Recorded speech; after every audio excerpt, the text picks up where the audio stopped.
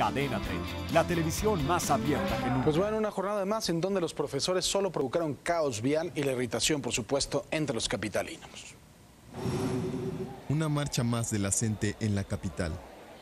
Para algunos, un escenario cotidiano.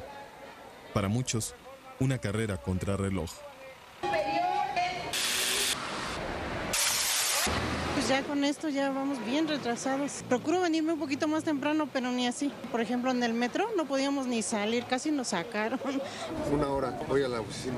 Diario tengo que llegar a la zona rosa ahí, a la calle de Liverpool, pero no puedo llegar.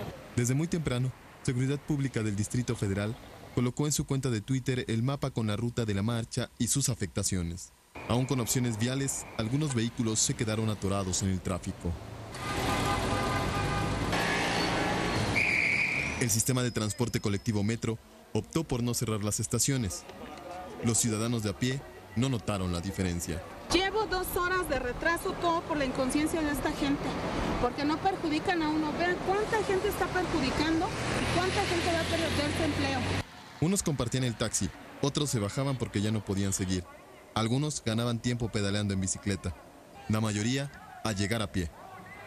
La línea 1 del Metrobús tuvo una ruta interrumpida, de Indios Verdes a Reforma y de Insurgentes hasta el sur.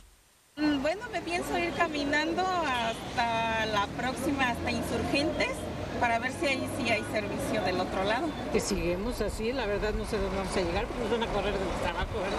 Así, una vez más los capitalinos se abrieron paso y tomaron los atajos que pudieron para llegar a sus trabajos y puntos de encuentro, tratando de que la marcha interfiriera lo menos posible en su rutina.